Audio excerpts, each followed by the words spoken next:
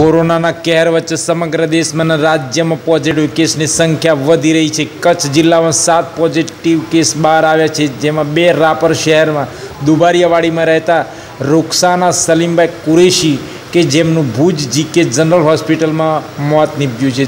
તે જ વિસ્તારમાં રહેતા રૂકસાના બેનના રહેઠાણવાળા એરિયામાં આરોગ્ય વિભાગ, નગરપાલિકા અને પોલીસ તંત્ર દ્વારા કન્ટેનમેન્ટ ઝોન જાહેર કરવામાં આવ્યો છે અને તેમના પરિવારના લોકો સંક્રમણમાં આવ્યા છે કે કેમ તે અંગેની પણ તપાસમાં કરવામાં આવી રહી છે.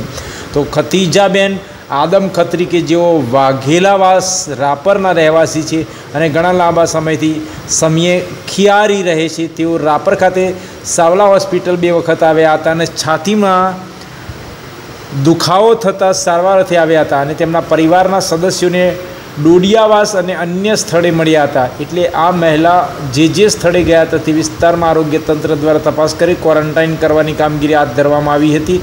આ કન્ટેનમેન્ટ ઝોન વિસ્તાર માટે taluka health officer doctor Paul, chief officer Mehul Jodhpara police inspector R M Vasava PSI H M Patel PSI Y Jhala વગેરે ઉપસ્થિત રહેતા આજે રાપર શહેરમાં બે પોઝિટિવ કેસ લોકલ સંક્રમણના લીધે નીકળતા હડકંપ મચી જવા પામ્યો હતો. આમ વાગડ વિસ્તારમાં આજે બે પોઝિટિવ કેસ સહિત કુલ પાંચ કેસ નોંધાયા છે.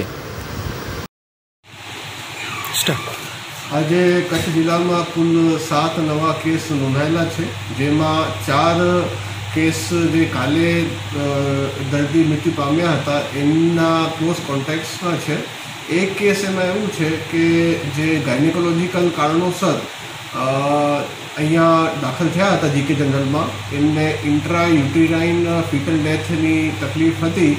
એના અનુષંગિક એમનું ટ્રીટમેન્ટ ચાલતું હતું. કમનસીબે અમે એમને બચાવી ન શક્યા.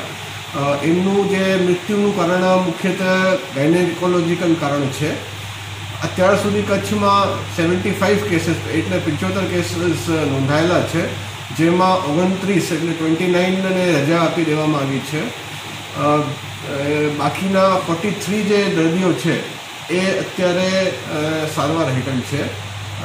કુલ બે ડેથ થયા છે અને આ એક, આજે જે ત્રીજો ડેથ છે, એ મુખ્યતઃ ગાયનેકોલોજીકલ કારણોસર થયું છે અને સરકારશ્રીના માર્ગદર્શિકા પ્રમાણે, ડેથ ઓડિટની પ્રક્રિયા તજજ્ઞો દ્વારા અત્યારે ચાલુમાં છે.